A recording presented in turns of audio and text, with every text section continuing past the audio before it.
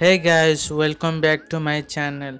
In this video, we talk about one issue might be you face when you are trying to push the code to GitHub. Okay, and that error is permission denied or unable to access. Okay, let's see how we can solve it. So this is one of my project and I want to push this source code to my GitHub account. Okay, as you know in my previous video we discussed about how we can push the code to github. Okay if you do not know how to push the code don't worry about it. I will provide that video link in my description and also in i button okay but as you can see at the time of push command there is one error and that error is permission denied by rks 90 9853 okay.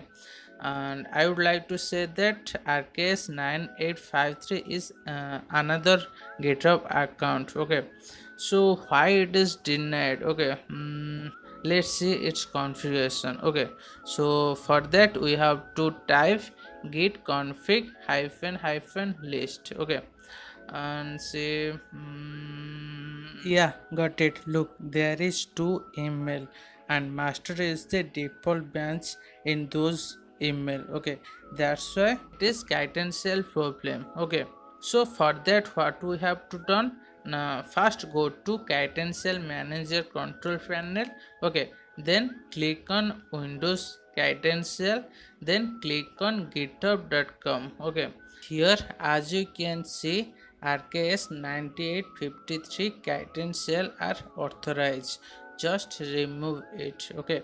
Then comes to git bash and once again type the push command git push original master okay? At that time one pop-up box is appear for authorize our github account. So just click on sign in with your browser. After that just click on authorize git credential manager.